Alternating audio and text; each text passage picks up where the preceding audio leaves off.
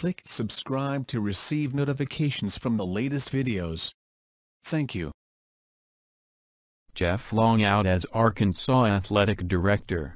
While the verdict is still out whether Bret Bielema will be Arkansas football coach next year, it appears Bielema's boss will not be back. According to multiple reports, including Bruce Feldman of Fox Sports, Jeff Long will not return as Arkansas athletic director. Long's contract was up in June 2018. An announcement is set for Wednesday. Football Scoop notes that Long's contract includes a $100,000 buyout. Long has been Arkansas ad since 2008 when he replaced the legendary Frank Broyles.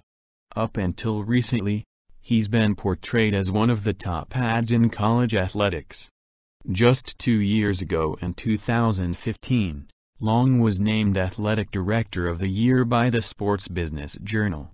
Long also served a tenure as the first chair of the College Football Playoff Selection Committee from 2014-15.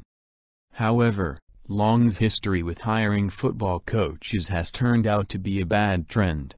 Long fired former coach Bobby Petrino in spring of 2012 following the coach's motorcycle accident in which it was revealed he was also having an affair with a female staff member.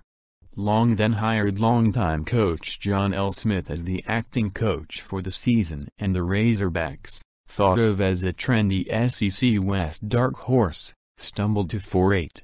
Long then hired Bret Bielema from Wisconsin. Bielema had gone 68-24 in seven seasons leading the Badgers and earned two Rose Bowl appearances. However, Bielema has gone 29-32 in Fayetteville, including 4-6 this season. Long's reported departure is big news, but he is not the first high-profile lad to leave his post. In September, Nebraska fired Sean Shawn Eichorst amid problems with the football and basketball programs. Thank you for watching this video. If you find this video interesting please like and share to many friends know. Do you have any questions please comment below to let everyone know. And do not forget to click on the subscribe button to receive notifications from the latest videos. Goodbye and see you again.